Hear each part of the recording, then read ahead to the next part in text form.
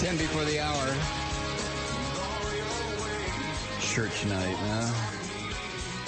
Well, again, we're doing some church night, abbreviated version, because uh, tomorrow is the um, is debate night here in the United States of America, and we will be providing running commentary to the extent that we can on this uh, farce. Starts at nine o'clock Eastern, same time our program begins. So stick around for that. There's money in the God business. The uh, by the way, these Christian uh, evangelical groups, uh, as the LA Times reports, have forged very close ties with Russian-born Jewish lawmakers in the parliament or Knesset. And the Christian groups recently helped push through a law that extend property tax exemptions, once available only to Jewish religious institutions, to those now owned by Christian congregations. Oh my God! And yeah, we don't even want to. We want it like it is the United States, where we can just rip people off left and right. We don't have to pay any taxes. We just steal, loot, pillage. Oh my God! And they get away with this. They get away with this. I mean, their own Messiah told them, get rid of everything you own. Give it away. Put on a pair of clothes, pack a toothbrush, and follow me on the road. It's going to be a long, hard journey, and you're not going to make any money. You're not going to wind up with houses in Malibu and Jerusalem. Your ass is going to suffer. You're going to walk through this hot ass desert. You're going to be talking to people who are stupid and ignorant and want to kill you. You're going to have to be dodging the Romans and the uh, the Jewish authorities because they think you, they all think you're a freak. In a sense, you are, but come on, because you know, uh, if, if you want to, if you want a, a, little bit of my message, it is stop acting like a bunch of dumbasses and and and and start treating each other with a little bit of respect. Uh, but that was the message, you know. Uh, it, it, was right there. It was it was an order to give everything away. It, it was a directive to embrace poverty, embrace all those things that these Christian evangelicals turn away from. You phony bastards, I swear to God. It, it, it just,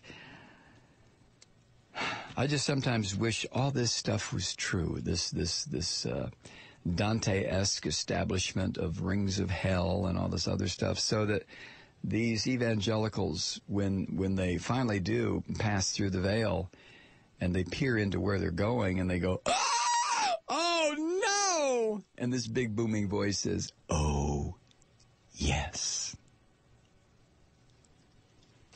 Ah. Anyway, property tax exemptions, once available only uh, to Jews, is now available to uh, uh, Christians. And going back to Miss Horowitz, Ellen Horowitz, research director of Jewish Israel, which is uh, kind of a hate uh, watch group. You know, they keep watching these Christian thugs. And she says um, they are much more sophisticated and calculated than they were before. With all the millions of dollars they are giving, it's harder for the government to say no. See, what they've done, these broadcasters have donated tens of millions of dollars to build Israeli schools and community centers and hospital wards, even synagogues. yeah.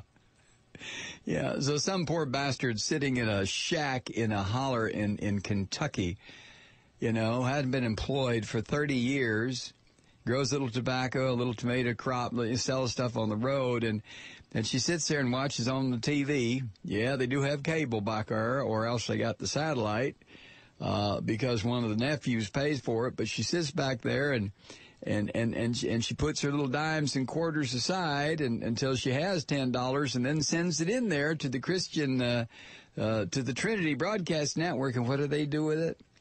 They use it to build schools and roads in Israel. While they're buying property and getting tax exemptions and living like goddamn kings like like like like the, the like the thieves and liars that they are.